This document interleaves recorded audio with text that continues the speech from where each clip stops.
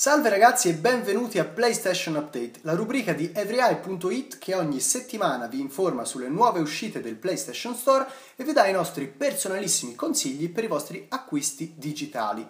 Le due piattaforme Sony, PlayStation 4 e PlayStation 3, accolgono oggi Bound by Flame, un gioco di ruolo di stampo occidentale sviluppato da Spiders Studio.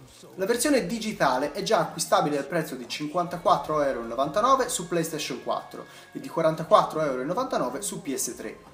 Nel titolo vestiremo i panni di Vulcan, uno sfortunato protagonista che nelle fasi iniziali dell'avventura viene posseduto da un demone di fuoco. Questo indesiderato e malvagio ospite lo consumerà dall'interno e spetterà soltanto a noi decidere se utilizzare i devastanti poteri messi a disposizione dalla creatura oppure se sforzarsi di mantenere un briciolo di umanità.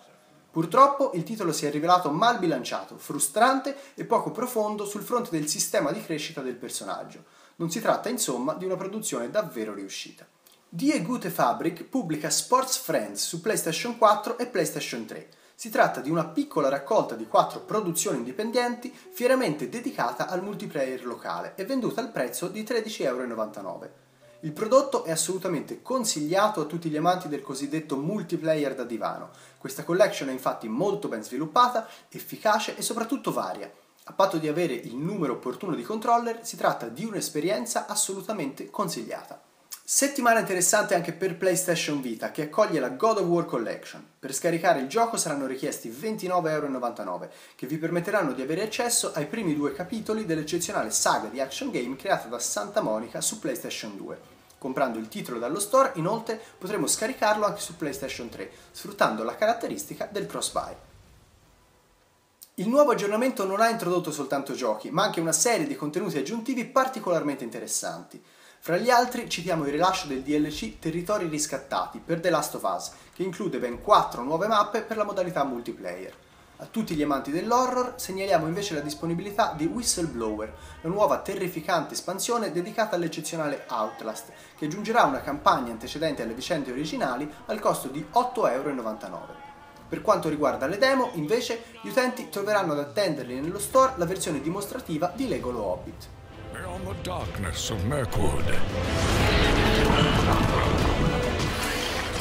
Chiudiamo come sempre la nostra rubrica parlandovi delle offerte settimanali. La versione PlayStation 3 di NBA 2K 2014 si trova attualmente in sconto sullo store al prezzo di 19,99€ rispetto agli originari 59,90€.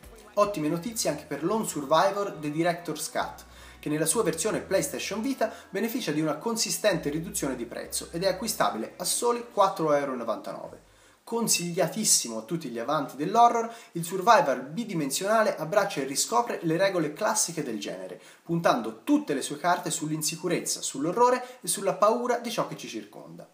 Per concludere, vi segnaliamo anche una promozione relativa a Steam World Dig su PlayStation 4 e PlayStation Vita, acquistabile adesso alla modica cifra di 4,99€. Con questo è tutto per questa settimana, con PlayStation Update ci vediamo come sempre venerdì prossimo.